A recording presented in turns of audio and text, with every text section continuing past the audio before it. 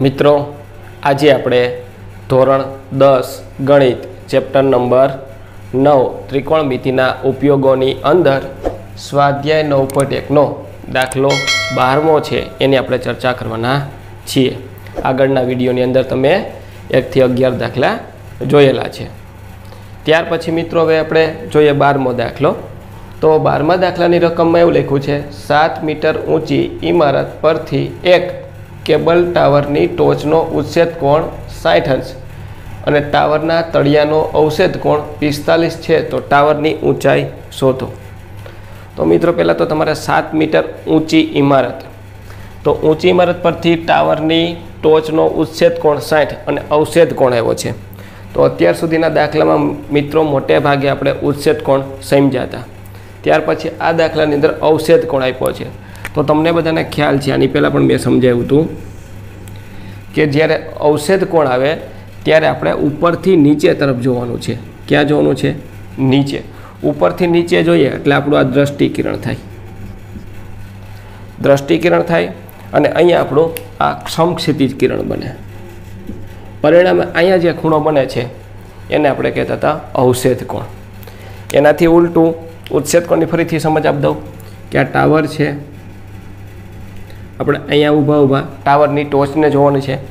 ટાવરની ટોચને જ્યારે જોવો ત્યારે તમારી દ્રષ્ટિ ઉપર તરફ જાય છે. અને અહીંયા આપણે સમક્ષિતિજ કિરણ દોરીએ. અહીંયા ખૂણો બને છે. એ અવષેદ કોણ થાય? હવે મિત્રો આની અંદર એવું છે કે અહીંયા તમે નીચે જોવો છો અને આ દ્રષ્ટિ આ દ્રષ્ટિકિરણ છે ને આ સમક્ષિતિજ કિરણ છે. એટલે કે આપણે કોઈ વસ્તુ નીચે નજર કરીએ છીએ. આપણે અગાસી ઉપર ચડી અને નીચે જોઈએ. ત્યારે આપણી નજર નીચે જાય છે ને આમ સમક્ષિતિજ કિરણ બને. એટલે અહીંયા ખૂણો અવષેદ કોણ અહીંયા બને. હવે તમે આને જોડી દો તો આ રીતનો ત્રિકોણ થઈ ગયો. અને અહીંથી આ ઝેડ બન્યો. આ રીતનો. આ ઝેડ. ઝેડ આકારના ખૂણા, યાદ કરો આપણે અગાઉ શીખેલા છે. ઝેડ આકારના ખૂણા એટલે યુગ્મ કોણની જોડ. બરાબર છે? બે રેખાઓની છેદિકાથી બનતા ખૂણા યુગ્મ કોણ અનુકોણ અને અંતઃકોણ. તો એમાં આ રીતના ઝેડ આકારના ખૂણા હોય એને આપણે યુગ્મ કોણ કહેતા હતા. અહીંયા જેટલા અંશનો ખૂણો હોય, એટલા જ અંશનો અહીંયા ખૂણો બને. અહીંયા પિસ્તાલીસનો હોય તો અહીંયા પિસ્તાલીસનો ખૂણો બને. તો આ હતી આપણે અવષેદ કોણની માહિતી અને આ રીતનો આપણે અહીંયા જે ખૂણો છે એ બનશે. તો અહીંયા આપણે અવષેદ કોણ આપ્યું છે એટલે આ થોડીક સમજ મેળવી. હવે મિત્રો આપણે અહીંયા આકૃતિ સમજીએ. તો સૌપ્રથમ તમારે સાત મીટર ઊંચો, સાત મીટર ઊંચી ઇમારત દોરવાની છે. તો આપણે સાત મીટર ઊંચી ઇમારત દોરીએ.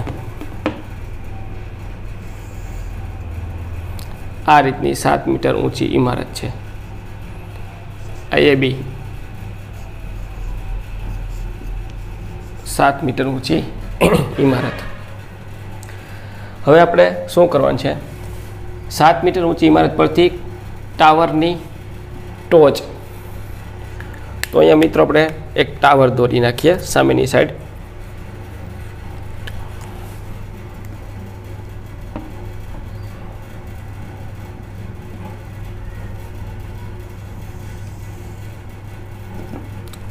આ રીતનો આપણે એક ટાવર દોર્યો. સી અને ડી આ ટાવર બરાબર છે? હવે ટાવર બની ગયો ઇમારત બની ગઈ સાત મીટર. આગળ. ટાવરની ટોચનો ઉચ્છેદ કોણ? સાઠ અંશનો છે. તો આપણે ઉચ્છેદ કોણ? સાઠ અંશનો દોરીએ. તો આ રીતનો અહીં આપણે ઉચ્છેદ કોણ દોરશું?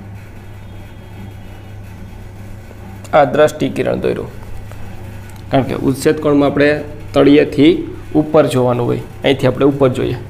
અને અહીંયા આપણે દોરી નાખીએ. ક્ષમક્ષિતિજ રેખા. આ ક્ષમક્ષિતિજ રેખા. બરાબર છે? અહીંયા ઊભીને આપણે ટાવરની ટોચ જોઈએ છે. અને અહીંયા આપણે જે ખૂણો બનશે એ કેટલા અંશનો આપ્યો છે? સાઠ અંશનો આપ્યો છે.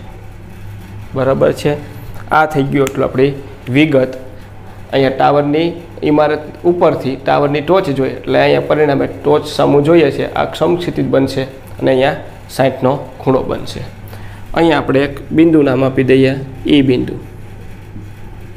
બરાબર છે? આ રીતનું આપણે ઉપર જોતા હતા. ત્યાર પછી આપણે અહીંયા નીચે જમીન દોરી નાખીએ, પૂર્ણ કરી નાખીએ. આ રીતની લાઇનિંગ કરી નાખીએ સીધી જમીનની. આ થઈ ગઈ જમીન. હવે આગળ. ટાવરના તળિયાનો અવશેદ કોણ?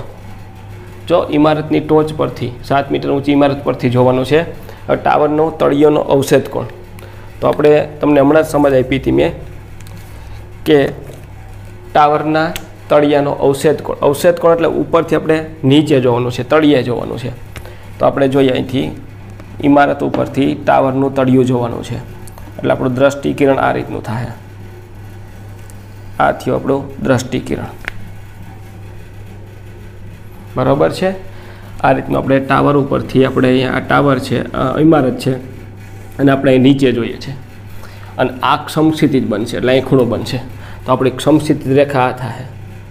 આ. આ સમસ્થિતિ આ દ્રષ્ટિકિરણ નીચે જોઈએ છે. અહીંયા આપણને કેટલા અંશનો ખૂણો આપ્યો છે? પિસ્તાલીસ અંશનો.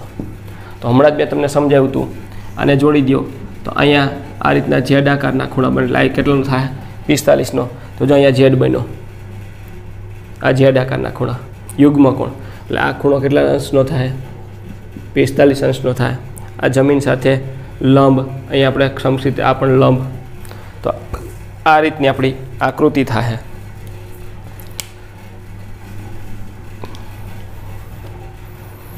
હવે આપણે આકૃતિનું વર્ણન કરીએ.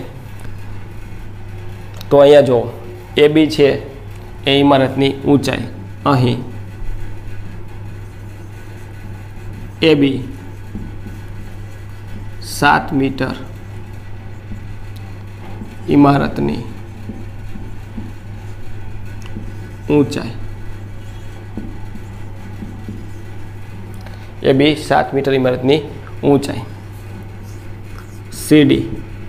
સીડી એટલે આપણો કેબલ ટાવરની ઊંચાઈ. કેબલ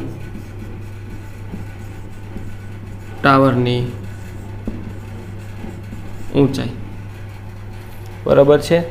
ત્યાર પછી આપણે અહીંયા ઈ બિંદુ છે એ સીડી પર આવેલ બિંદુ છે. બિંદુ ઈ એ સીડી પરનું બિંદુ છે. ત્યાર પછી આપણે લંબ દોર્યો. એ લંબ સીડી. જેવો આપણે એ પર લંબ દોરીએ સીડી અને આપણે નીચે જમીન કરી દઈએ એટલે એક બોક્સ બની ગયું. એટલે એ બોક્સ થાય લંબ ચોરસ A B C D sorry A B D E. A B D લંબચોરસ લંબ ચોરસ બને. બરાબર છે? આપણો અહીંયા લંબ ચોરસ બનશે. પરિણામે અહીંયા એ બી બરાબર ડીઈ બરાબર સાત મીટર. એટલે આપણી અહીંયા પૂર્વ ભૂમિકા થઈ આકૃતિની. હવે આપણને રકમની અંદર બે ત્રિકોણ દેખાય છે. તો આ બે ત્રિકોણની ચર્ચા કરીએ. પેલો ત્રિકોણ તો અહીંયા દેખાય છે, નાનો ત્રિકોણ. એ બી ડી આ ભાગનો. એની વાત કરીએ. ત્રિકોણ એ બી ડી માટે. ત્રિકોણ એ બી ડી અહીંયા તમને જે ત્રિકોણ દેખાય છે. તો એ ત્રિકોણની અંદર ખૂણો બી છે, નેવુંનો છે. ખૂણો બી નેવું અંશ અને ખૂણો ડી પિસ્તાલીસ અંશ. બરાબર છે અહીંયા ખૂણો પિસ્તાલીસનો. હવે ખૂણાની સામેની બાજુ આપી છે, પાસેની બાજુ આપણને આપી નથી. એટલે કર્ણની કંઈ જરૂરિયાત નથી. એટલે આપણે સૂત્ર લખશું ટેન થીટા બરાબર સાપા. બરાબર છે? ટેન થીટા બરાબર સાપા. એટલે સામેની બાજુ છેદમાં પાસેની બાજુ. તો ખૂણો આપ્યો છે પિસ્તાલીસનો, એટલે ટેન પિસ્તાલીસ. સામેની બાજુ એટલે આપણી થાય એ બી. પાસેની બાજુ એટલે બીડી ટેન પિસ્તાલીસ એટલે એક. ટેન પિસ્તાલીસ એટલે એક. એ બી છે સાત ને અહીંયા બીડી હવે આ આનોની સાથે ગુણાકાર કરીએ.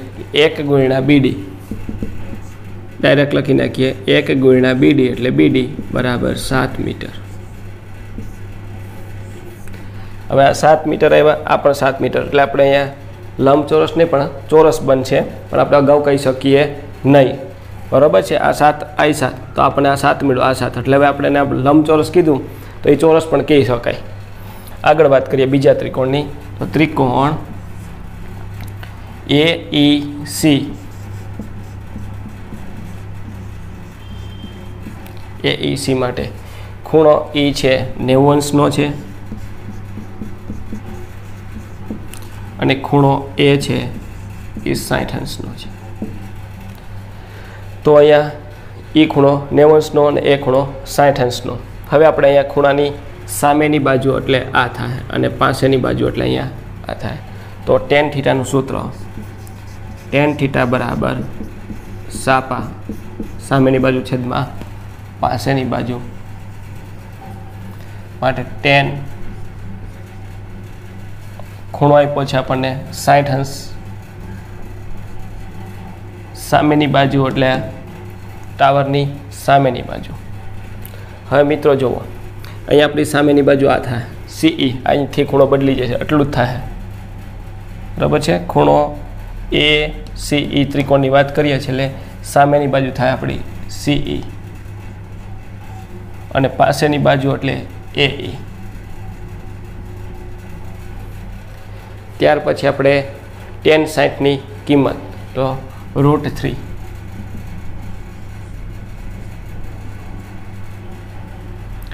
અને સીઈના સીઈ હવે એઈ તો તમે જુઓ મિત્રો આ એઈ છે.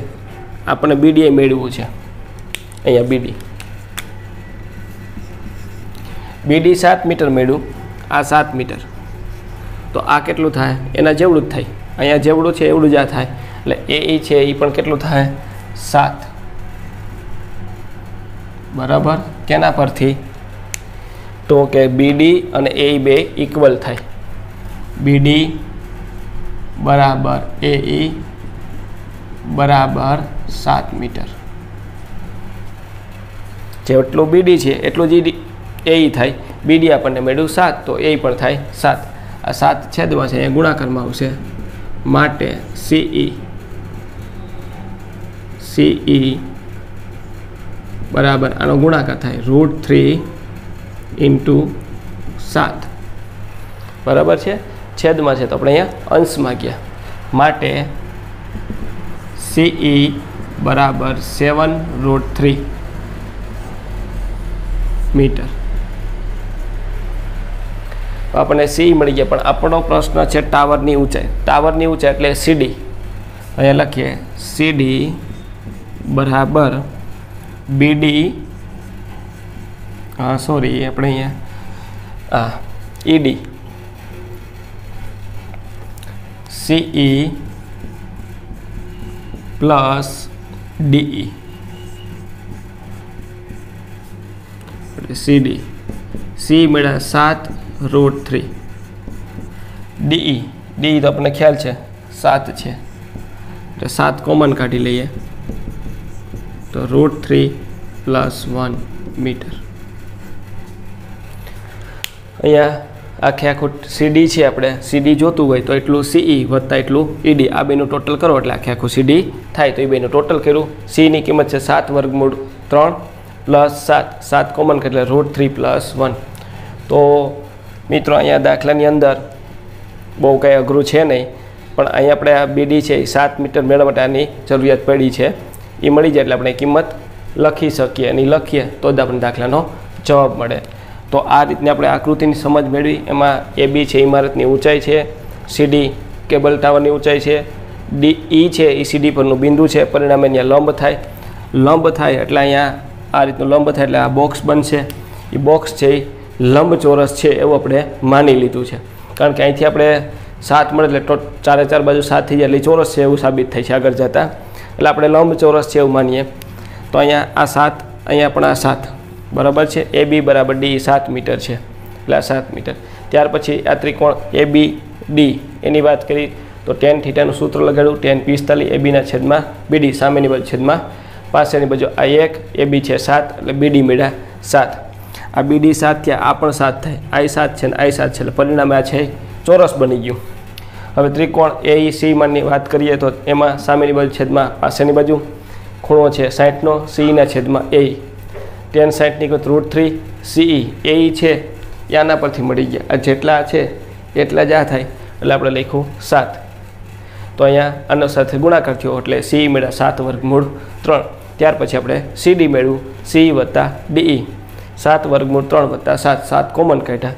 તો આપણને સીડી એટલે ટાવરની ઊંચાઈ મળી સાત વર્ગમૂળની અંદર ત્રણ પ્લસ સાત વર્ગમૂળની અંદર ત્રણ વત્તા એક મીટર છે આપણને ટાવરની ઊંચાઈ મળી